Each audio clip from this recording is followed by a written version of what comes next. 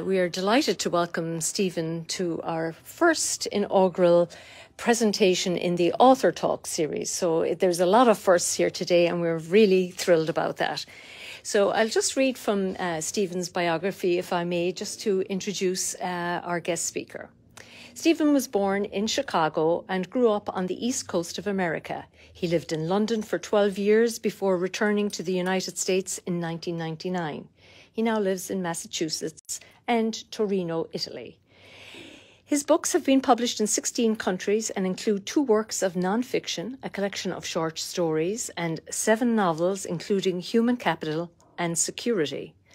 Amidon's novels have appeared on many books of the year's list, and Human Capital was selected by Jonathan Yardley, chief critic of The Washington Post, as one of the five best novels of 2004. Paolo Virzini's Italian film version of Human Capital, Il Capitale Umano, forgive the pronunciation with an Irish accent, and was selected to represent Italy as Best Foreign Language Film in the 2015 Oscars. A film adaptation of the novel Security, directed by Peter Chelsom and with cast starring Marco D'Amore and others, uh, was released in Italy in May 2021 and worldwide by Netflix in 2021. So that's something maybe people could follow up on. Stephen Amidon's new novel, Locust Lane, will be released January 2023. And I can attest to the fact that we actually have Stephen Amidon's novel. Thank you again. And it's good to be here. Uh, I thought I would, um, and, and, hello to people at home. Um, I thought I would. Uh, do a little reading from the book, and then we could uh, uh, have a conversation if, of any, any nature you want. Um, I, I, thought I'd read the prologue, uh, the first part of the book, and then which introduces uh, uh, Patrick Noon, who's a who's kind of the reluctant hero of the book, if you will. Uh, he started out not being that. He started out being a very minor character, but I grew to like him as I started writing. And then the second part of the book is the mother of of a young woman who dies early in the book, Danielle, who's a um, a rather uh, not really of of this community. This is a very upper upper class kind of community outside of Boston, and she's she's more from working class. She's in Watertown and works in a jewelry store. And she and Patrick hit it off, and uh, in the course of the book. Um, so this is the prologue uh, of Locust Lane. No animals were badly injured in the making of this book. I uh, uh, warn you first. I mean, I, this is the riskiest opening sentence in, of any book I've ever done, I've been told, but rest assured. Uh, he hit the dog on Locust. It came out of nowhere, a blur of black motion. He swerved, but not enough. The bumper's edge caught the animal's hindquarters, sending it spinning back into the night.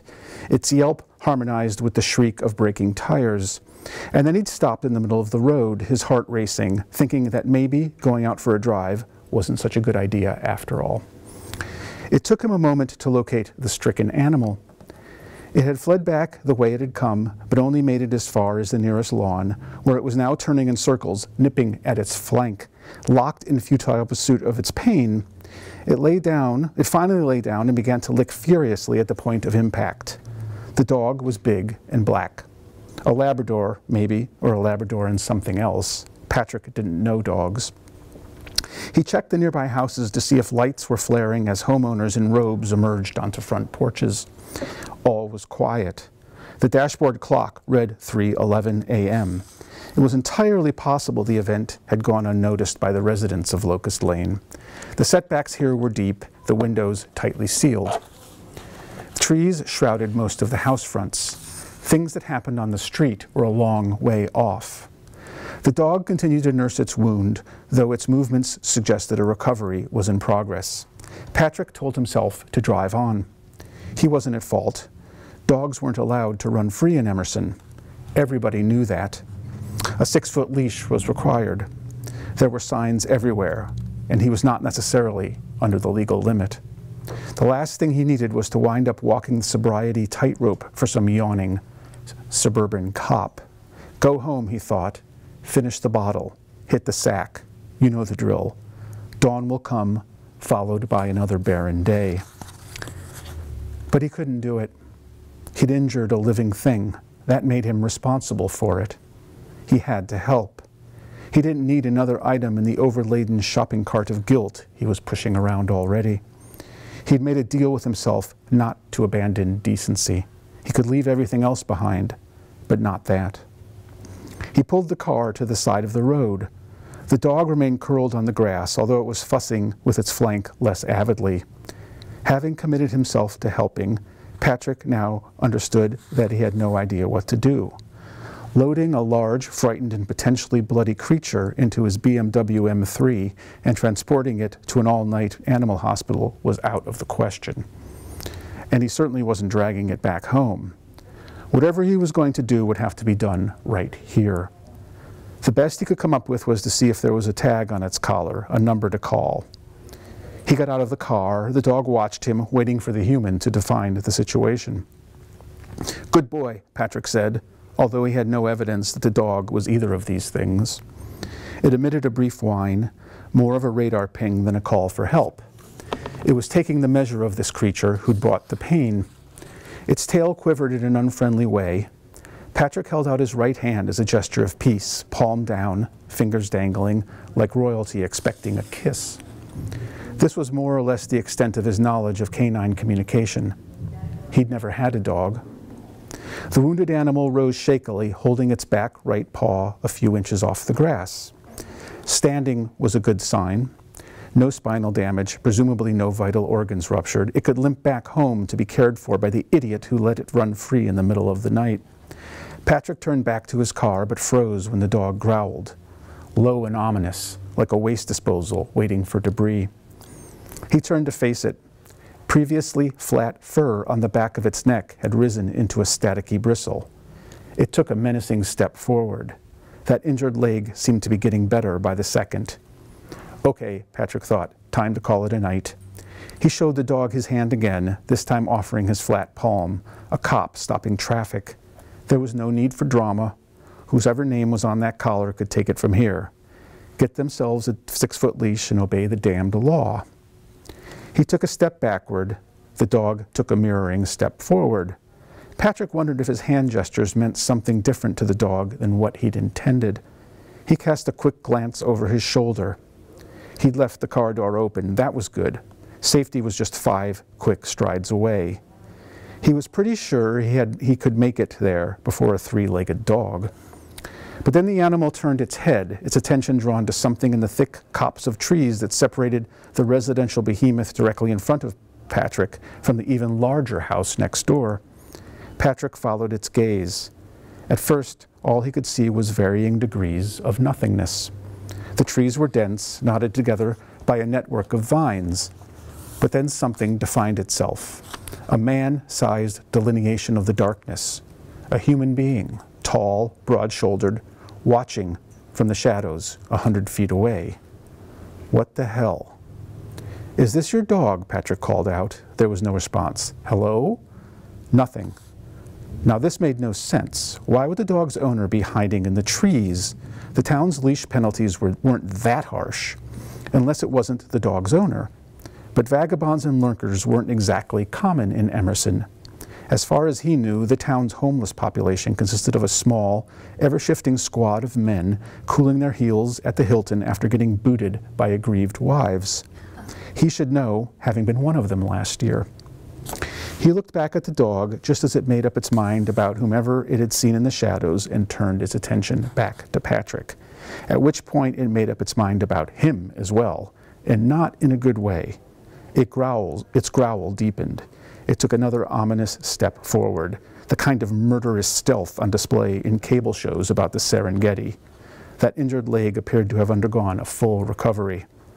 Okay, time to go, with haste. Resurrecting a move from his wide receiver days, Patrick emphatically stamped his right foot forward, then pivoted and headed in the opposite direction.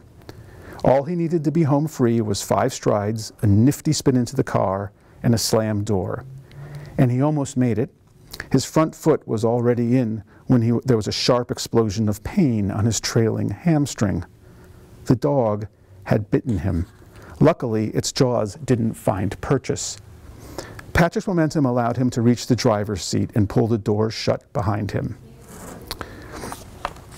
Patrick pulled the door all the way closed as the dog limped off towards that dense copse of trees where a hidden man had just impassively watched it attack another human being.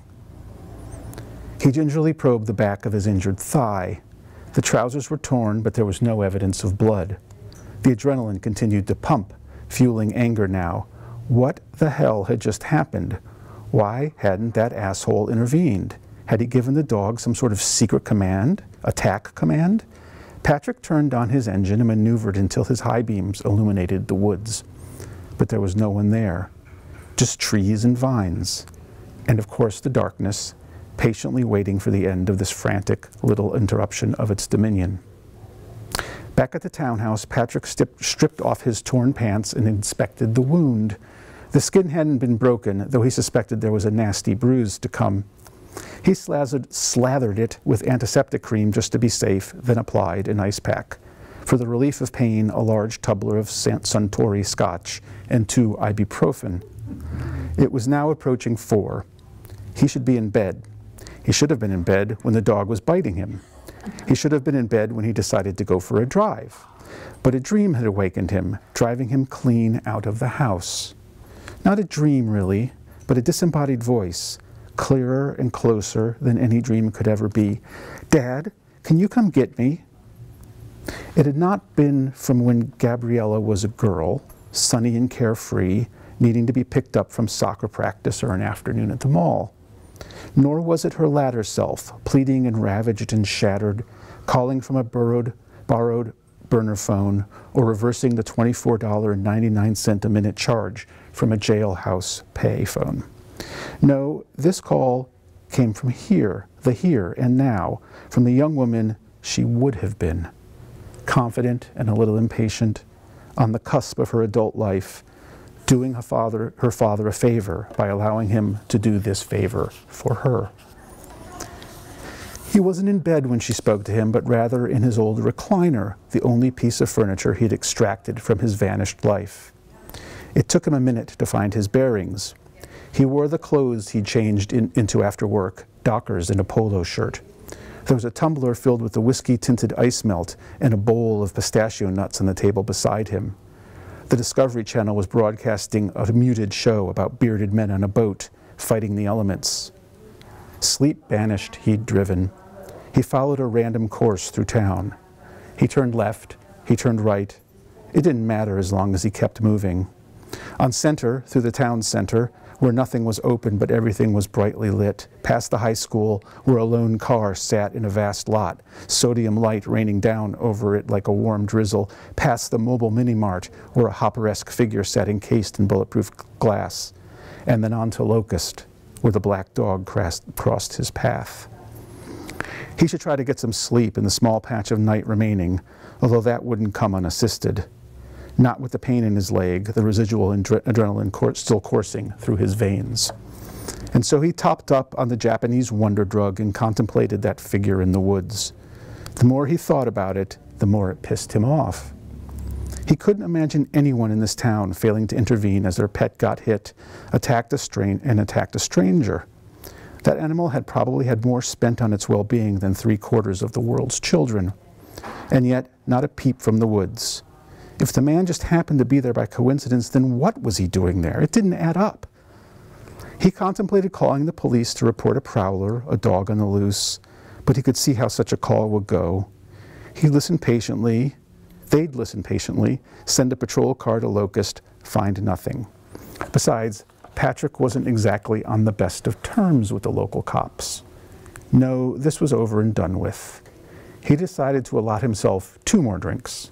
That would do the trick, filling in the looming hours before he'd have to rise and shine, before the wasteland of the morning would finally creep into view.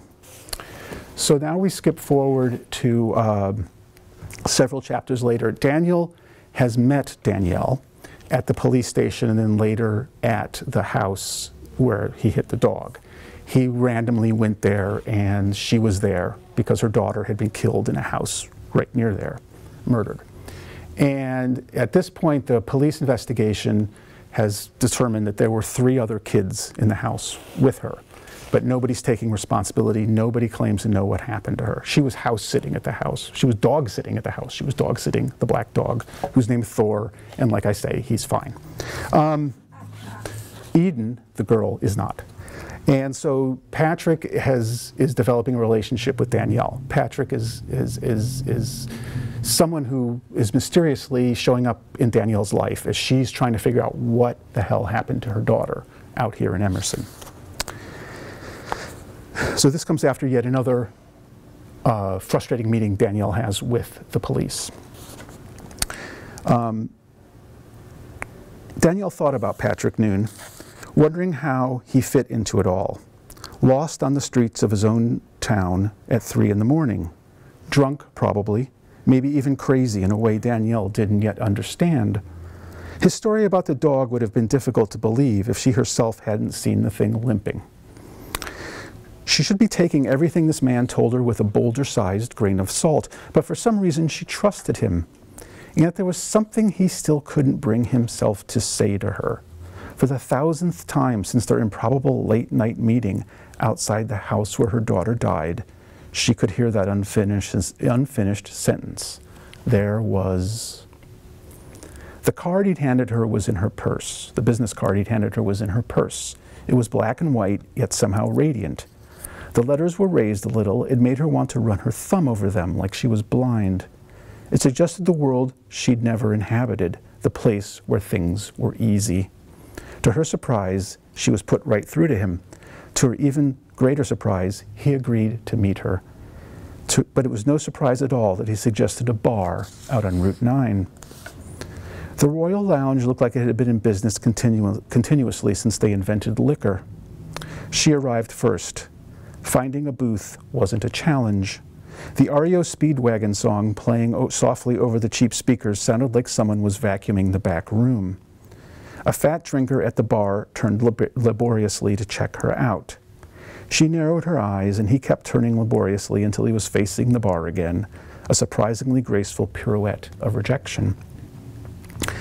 Patrick arrived wearing an expensive suit and sunglasses that the boys she'd grown up with would have risked prison time to steal. Whatever else he might have been, the man certainly was handsome. He had the good grace not to smile at her as he slid into the booth.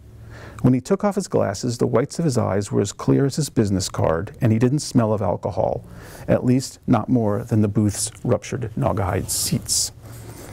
How are you holding up? he asked. I don't know, she said, functioning. Functioning is good, better than the opposite anyway. Is it? she asked. He asked what she wanted to drink. She said Chardonnay because she wanted a drink, but she didn't want that much of a drink. He went to get their refreshments.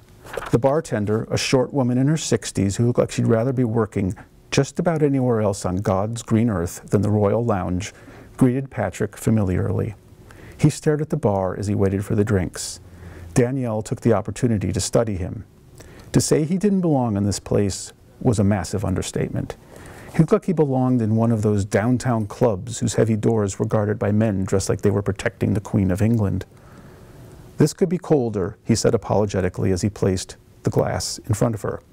She shrugged. She hadn't come here for the Chardonnay. He was drinking something clear with a slice of lime. There was an interval of silence that would have normally been filled with small talk. He seemed comfortable in inhabiting it with her. So I'm wondering why they haven't arrested this kid yet, she said finally. What, what have the police told you about that? Nothing. What do you know about him? One of the kids has become a suspect. I'm sorry. What have, the, what have the police told you about that? Nothing. What do you know about him? I know his father, Patrick said. He had a restaurant in town. People are surprised. Are you? I'm not really surprised by much these days, Patrick said, but yeah, I guess I am. It just doesn't fit. I'm sorry if that's uncomfortable for you to hear, but there it is. He took a drink like he needed it, not gulping it down exactly, just savoring it. You said something last night, she said. Well, you started to say something. He watched her, not unfriendly, just guarded. You said, there was. But then you stopped yourself. Did I? Yes, you did. Like you saw something other than the dog when you stopped your car. He looked into his glass as he swirled the ice and lime. This man had something to say to her, and she had no idea how to get him to say it except give him time. Excuse me. I lost a daughter, he said, two years ago. Oh no, I'm sorry to hear that. She'd been struggling with drug addiction. Well, damn, Danielle said. The situations aren't really equivalent, I guess. Your daughter was murdered. Dead is dead, Danielle said. That seems pretty equivalent to me. How old was she? Twenty, the same as Eden. He met her eye, this lost man. What was her name? Gabriella, well, Gabby. That's nice. As is Eden. How did you come up with that? I thought, you know, innocence. I was young. I didn't take into consideration the whole apple and snake deal. He took a sip. She looked at her wine. It brought to mind a urine sample. She left it where it was. So that's why you gave me your card, she asked. He finished his drink. You want another? he asked. I should probably go ahead and take my first sip of this one. He headed off for, the, for his refill. Once again, she watched him at the bar. If this was a date, he'd have been the best looking man she'd ever been out with, also the wealthiest and the nicest. She thought about that, a date with Patrick Noon. He'd spend $200 on dinner and be a gentleman when he said goodnight, and then he'd have rushed, and then she'd have rushed home so she could tell Eden all about it. But this wasn't a date, and she wasn't going to be rushing home to talk to her daughter ever again. When he returned, she resisted the urge to fill up the silence. The man had his own rhythms that she knew better than to disturb. They half listened to that song about Sister Christian as it gargled inside the nearest speaker. You'll hear her voice, Patrick said. She had to run what he just said through her mind a few times to make sure she'd heard it right. Okay, she said. Has that happened yet? Danielle knew that if she said anything at that moment, she might lose control, so she, simply shook her head. You will. She won't say anything important. I mean, she won't tell you who killed her, no lottery numbers. It'll just be normal stuff. I could probably live with that, Danielle said. That's why I was out there that night driving around. I was asleep, and then I heard Gabby ask me to come pick her up. I mean, obviously, I knew it wasn't real, but it unsettled me. So it was a dream. Not really. Her voice didn't come from inside this. If her voice didn't come from inside the sleep, if that makes sense. It came from somewhere else. And no, I don't believe in ghosts. Daniel was wishing this didn't all seem so goddamn plausible. The funny thing is, her voice wasn't like it had been when she was alive, at least not those, those bad last years. But she wasn't a kid either. It was like what it would have been now. He was still staring at his empty glass. Finally, he looked up at her. So, after I hit the dog, I saw someone. Suddenly, everything in the bar became a lot clearer and a lot quieter. What do you mean, Danielle asked, you saw someone? When I got out of the car to check the dog, Patrick explained, there was a person there in the trees at the edge of the property. I tried to speak with him, but he didn't answer. He just stood there, like he was trying to be invisible. And then a dog attacked me, and when I checked again, he was gone. Well, do you know who it was? Danielle asked. I'm pretty sure I do, Patrick answered. Thank you. Thanks. Um, so, and then things happen. so, um, anyway, if you have any questions or want to discuss it or ask me anything you want, um, I've had all sorts of questions. Somebody recently asked me if I would be interested in um, learning about AA after I read this this book, and I said, no, it's Patrick who has the drinking problem, not not me. I mean, I like so. Uh, I had a friend who wrote a book about um, a guy who was impotent, and he had two guys coming uh, for an impotence cure, and, and so, but so uh, these are my characters, not me. So there's, I get all sorts of. So please feel free to ask me anything um, about the book, about my the career, about writing, about whatever. Um, if anyone has any questions, I'd happily answer them. Um, yes, yes. So I read it. Oh, okay. Um, I noticed my flashlight is on. Apparently, I can't see you. Um, I noticed that you wrote it from the perspective of everybody but the teenager. Right.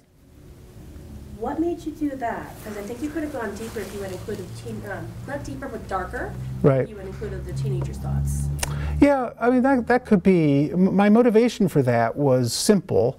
Um, I have four children, they have all been teenagers, and I don't think any of them have committed any major felonies. Um, uh, but I do know that, and this is experience my own mother had and all my friends have is that teenagers are, are very good at keeping secrets.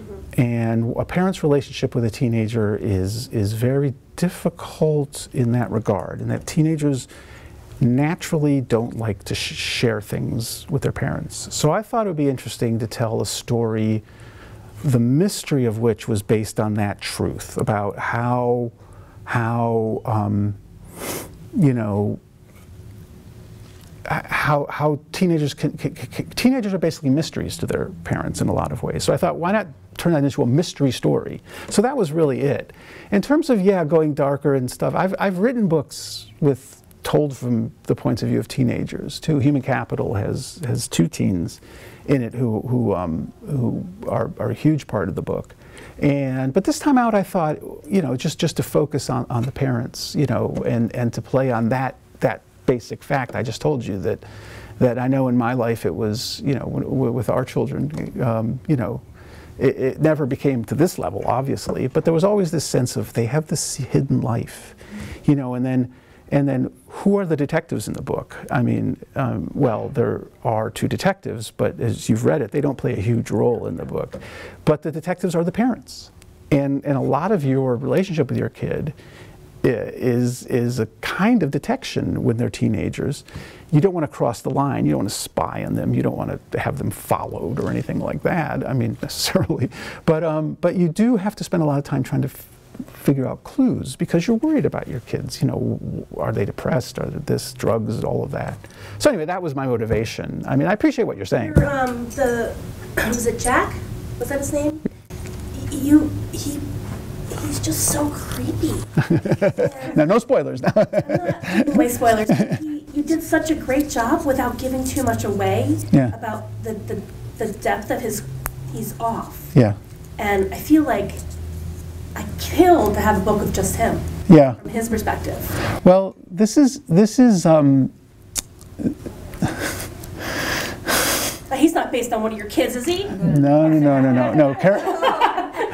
No, my my kids aren't like him at all. Um, I hope. to me, they're not. Um, it, it's funny you say that. no, the reason I laughed, I look at my wife and smile, is because we had the conversation last night, a couple nights ago. This has become part of a trilogy. Snap. A- and uh, I'm just finishing the second one. And the third one, and what happens in the course of the trilogy is that Detective Gates, the, the, the very nice female detective, becomes a bigger and bigger character in the second book, becomes qu- quite big. And then the third book is hers. So she is this new detective in Emerson, and she's on a learning curve. And we may very well not only see Jack again, but see his story in the third book. So I, This is coming out, the second one? uh, the second one, well, I got to get it to my publisher. Uh, so I'm, I hopefully by the end of this year or very early next year. That's the second one. The third one is will be, I'll begin immediately after that. And so, you know, hopefully within the next two years, those two will be out. Um, No redemption for Jack. There isn't. It's messed up. uh, um, I, I, Spoilers, but I mean, like, down the road. Well, you know, I think there's there's potentially redemption for everybody. Um, uh, you know, I but um, I don't know. Uh, um, I'm gonna have to think about that. And it's been it's fascinating to talk to you guys and and to have I've had a lot of one of the one of the good and bad things about publishing these days, as opposed to 20 years ago, is you get a lot more contact with readers because of Instagram and so forth. And you know, 20 years ago, you had occasionally people writing extremely nasty things about you on Facebook, and and and you know, and that would be it. And then you get critics, and you know, so. Um, but now, you know, you do get a sense of how people are, are reading it. Fascinating to, to talk, you know, to hear that. I've got very thick skin, so you know, whatever. But um, uh, Yeah, yeah, we'll see. We'll see. I mean, I mean, Danielle comes back. You know, the the the, the there will be. Um, there will be, but the main person who's going to come back is, is this detective, this detective from Boston, who's who's been sort of by book two, she is now working for the Emerson. She's a state police woman, state police detective in the first one, who kind of comes in to help. And the second one, she's taken over the department basically and is much more involved. And the third book is um, is is is going to be you know her her point of view is going to be a very big point of view in it because she doesn't have a point of view in this one. So it's still kind of all there in my mind, but it is making you trickle her through the three books. Why is she the, the character that you really keep keep going with? Um, She's not that big of a deal. I mean, I, I like her. Yeah. I like the way she approached everything, but she's not the book. Well, no, she isn't. That's that's a good point. I, I think she's. I think I. I, I don't really have a character I want to pull through all three except her, and I really like the idea of there being a character who comes in and is kind of minor, and and then by the end of it, you know, becomes increasingly involved, and then by the end of it, and, and, and as an outsider, uh, in terms, she's African American, she's she's from Boston she's she, this whole world is strange to her and she has to tread carefully and so again it's you know a lot of the stuff are, are instincts on my part so I, it's hard for me to answer until i've done it but but it certainly is very um, you know and I, did, I didn't start out writing a trilogy it, it was only as i got to the end of it i thought I, I like this terrain. I like this town. I like it. This town I've invented or imagined, which is Wellesley, and um, um, uh, so um, so and it seems like you know I like books. I like crime. I like to write crime books where there where the there aren't there aren't badged detectives solving crimes. I mean, I like to read ones where there are, but I don't like, you know, but I thought that I'm kind of building up to writing one of those, which I've never done before. And I, and I like her a lot. I like her sympathy, I like her humanity. She has quite a complicated backstory, which will come out in the second book. She befriends a woman who's in a very difficult position, an Italian woman um, who lives there and has lived there for 28 years uh, and is the mother of some kids who go there. And so they become friends, and there's a very complicated, not complicated, but a very difficult situation that the Italian woman is in, and she, and so you'll see. Can you tell me, um, do you outline your books before you start your book? Um, and what happens when you have to flip the book like you did this time, where you start one way, and Right. how do you feel and respond to that kind of situation? Tired, um, uh, uh, cranky, angry. Uh, um, so, it, yes and no. I mean, it's it's kind of a balance. I you know I certainly start out with some sort of outline, uh, but I, it usually is for like the first half of the book. And I mean, one of the problems with and this is something that my occasional forays into screenwriting, which drives me crazy, is how producer-oriented screenwriting is, and how everybody wants to have an outline. And I'm like, you're, ta- you're talking about nothing. It doesn't exist yet. How can you have an outline of, you know, I can do an outline of this book, but, but so I basically, what, what I like to do is, is get a strong sense of character. That, that, that's kind of my outline, is, is I spend a lot of time building characters. So, and then as I write, I have them interact. And in a way, if, if, if I've done my job building a character, building six characters, ten characters, and putting them together in a geographical place and time, their interactions will dictate the story in some ways. And I suppose it's there in my head some way. My fear in, in I can outline, you know, I'm, I'm a smart guy. I can, I can do an outline for a 400 page book. The difficulty with that is you tend to sort of box your characters into, into a conception you have. I have a student right now. Um, in my I teach in Italy and she's writing this huge quintet of novels and and she's she's from Poland and and and she's like her English is very good and it's kind of a fa- fantasy series about an all woman world or something. I don't know. It's it's, but it's completely outlined. I mean, it's like 100 pages, and it's all it's just an outline. And I keep on saying, write something. I, I can't talk about this. You know, it's like, and then book three, chapter eight, I'm like, give me book one, chapter one, and it's driving me nuts. And nobody can. And I think there's an element of fear in that. But but I, you know. I think as I get older, uh, and I do this more. I think this is my what eighth novel, and I just finished my ninth. I, I, I, am more confident that I can do it, so I don't feel any sort of sense that I have to like beat it out before I start. And but there is there is now with Daniel and and and, and Patrick, who you just alluded to, I think. Um, yeah, I mean so that's the whole thing is you want to be able to surprise yourself as a writer. Absolutely. You want to be able to like have a character, well, and with Gates, Detective Gates, you want to have a character who starts out as just a kind of functional person. I mean, Patrick really started out as someone who saw something and reported it. And, and but then he started drinking, and I'm like, oh, this is interesting. and he he's actually based on um, we lived in Wellesley for a while, and I was walking out for a walk, as I do, and I was walking through the Whole Foods Wellesley parking lot around 5 p.m., 6 p.m. And there was a BMW M3, which is an $80,000 car, parked in the far corner of the parking lot, and there was a man sitting in it. And there, was, was, wasn't near anyone, and it was really far from the door, so it, it couldn't have been like he was shopping.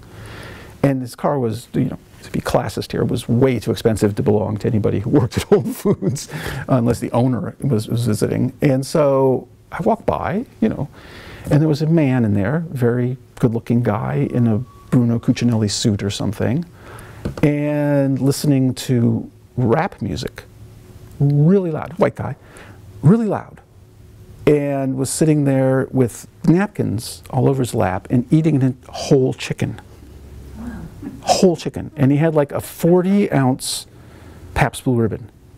And he was just eating it like this, and the, you know his face was, but but he he obviously was an investment banker or something, and and it was such a I mean, Patrick never behaves like that in this book. I mean, I don't know, I think he does, but but it's just this idea of this. What you know? What was he going home to? You know, four million dollar house where he's eating ergonomic, you know, oats and and and whatever. And this is his like primitive moment. And this this disparity, and I started thinking about, you know, that sort of unhappiness, that sort of uneasiness in one's very expensive skin, and and that kind of became. And then Danielle was based on my barber, who was a, a woman with 100% body tattoos um, from, from South Boston who would regale me, Jennifer, with, with tales of the AM radio show she just heard all day and, and was and but had a kid, and she really loved this kid, and he was in all sorts of trouble and stuff, and so um, they were kind of based on those people, and I started, but they were both minor characters. Danielle really didn't appear much in the book; she's just a grieving mother, but they, I put them together, they they hit it off as they you see, and suddenly you know the book is they become almost the moral center of the book. So if I and if I'm not doing, I'm sorry, I'm going on and on, but if I'm not doing that for myself if I'm not surprising myself, I, it's not worth it. I don't get paid enough. I mean, it's not like I'm, you know, have an M3 sitting in the parking lot. So it's like, I, I, I the, the, you want to create a place where you can surprise yourself. And I guess that's why I've said, let's do a trilogy, you know, and let's, uh, I haven't told my editor about this yet. Um, Deb? um, so I hope that answers your question. So, anything else? Um, yes. I had a question. I was just wondering. I only know what um, Margaret read about you, but what took you to Italy and what brought you back? Uh, I never lived there full time, so really, what brought me back is a plane. I mean, what, I, I go there. Uh, I Ah, I, it was the absolute luck. I mean, I was trundling along and I wrote a book called Human Capital in 2002, I think it was, 2003. 2003. And it came out here and did okay, and it, it was bought for the movies, and an American indie, indie company bought it. And I had this director named, who was a 400 pound Israeli American guy who, you know, like Oblomov, he'd sit on the sofa and wouldn't move, and we'd work on scripts together. But that never happened. Um, so I thought, okay, so it goes, you know. But then I got a call from Italy, and and um, and I know I knew my my books had kind of. I have a very good publisher in Italy and a very good translator, so I knew my books were semi-popular there. And I got a call from Paolo Virzì, who we've, eh, who's one of the big directors in Italy, and he said, "I want to do your book in in." Um, Brianza, which is a very swank suburb of Milan. And I said, okay. He said, can you write the screenplay with me? I'm like, well, let me let me call my agent, but I couldn't because for contractual reasons, it's boring. But um, so I didn't know what was going on. I knew they were making the movie, and I got one picture from the set or a couple, and um, and then he invited me to Italy to see it. So I went over, and it became. I, I literally flew into Rome right before Christmas, and I got there was a limo for me, and I'm driving in, and there's a billboard with my name on it, and I'm like, well, I think the movie's doing well, and it was a number one movie in, in Italy, and uh, it was quite a thing. so it's like completely accidentally, and I met the cast, uh, whose names I won't try it. Um, who were all uh, extremely good. They were a lot better looking than I imagined them in my head. Um, uh, and so that became a big success. And then after that, I was offered a job teaching at a school in Turin. And so I go there twice a year, and it's great. And I teach in English to international students and, um, you know, from all over. It's a place called the Holden School after Holden Caulfield, um, a book and a character I hate, but don't, don't tell anyone, although I think I just said that on TV. Um, but, but yeah, so I'm just lucky. It's just luck. It's just luck. I mean, the thing is, if you write a book, you never know what's going to happen. Most of it's bad, but occasionally good things happen. And so I, I don't attribute it to any. And my Italian is pretty, pretty grim. So um, um, it's hard to learn a language when you get older. it's, it's, a, it's a two-year-old's game. It's not. right. So yeah, just luck. Yes. How crazy is it to write a screenplay from a book that you've made, wrote? Well, I, I, think I think the lesson I've learned in that regard, and I've I don't I've never written a screenplay that's been produ- I've written a screenplay that's been produced, but it wasn't from a book I wrote. I think I think the the the lesson I've learned from that, and I now know, is this exists, right? This this is here. It's never going away. Um, and you you have to not see yourself as the protector of this book when you write a screenplay. I, I teach I teach courses in film adaptation at, at, at the school in adapting books into films uh, at my school in Italy, and I have there are other teachers there, and they go through these whole big procedures, right? About how you adapt a book into a film, and they have all these rules and all these strategies what I've learned in my in my experience is there's there's one rule, and it's there's somebody with money, and there's you, and you do what they say. so there's a dude with money and a writer without money, and you could fight them uh, and get fired. And so somebody has a vision. Film is very, very a screenplay is very different from a book. And I think a lot of mistakes I've made um, is you think you're just rewriting the book with a lot more white on the page, you know, and, and but so I just now am like, you know, if you want to make into a movie, and I really trusted um, Paolo. I had to because I wasn't on the set in Human Capital, and they, and they did a really good job. And you know, I've never met a, a director. Usually, it's a director. It could be the producer who doesn't have an extremely strong vision of how they want to do the movie. And I think your job is almost to work for them and not your book, if you get the thing. And if you go in, unless you're Stephen King, and you'll notice he has no participation whatsoever in his, he just sells it and writes another book after he used to. Um, but so it's, it's, it's, it's not tricky so much if you just listen to the director. Because on a film, directors do everything. Everything is the director. I mean, there's no director of cinematography. There's no director of light. The red directors, I, a friend of mine who directed several really good films said, he just sits in a chair all day. directing is just sitting in a chair all day and someone comes up and says, this one or this one, and you're like, that one. And then someone else comes up and says, this one or this one, you're like, that one.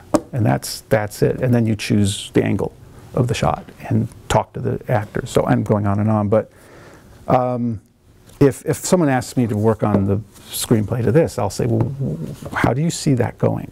What's your vision? Why do you want to do this? So do you now, in your contract, have a right of first refusal for doing a screenplay? Like, did you change that up since? You know, I, that's that's that's an interesting question. Those are a lot less standard than they used to be. Um, uh, they will certainly. You can refuse. I mean, you can refuse anything. It's my book. You know. Um, they. It used to be, as a matter of course, they would offer the the writer, uh, the, the novelist, uh, an opportunity to write the first screenplay, but it, it would just be another form of payment, and then they just throw that away and get a professional in most of the time.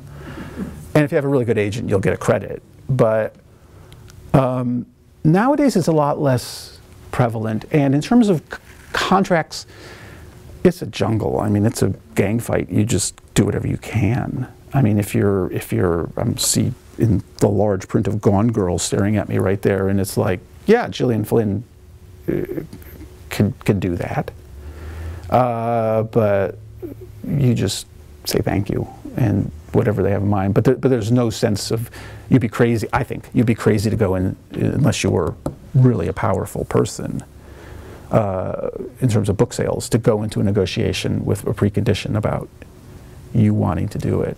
And um, it's a very time-consuming thing. It's a very um, can be a very painful and un- unrewarding thing that doesn't pay very well at all. I mean, the money, if you really, to be honest, if you're a novelist, the money you make is for the rights.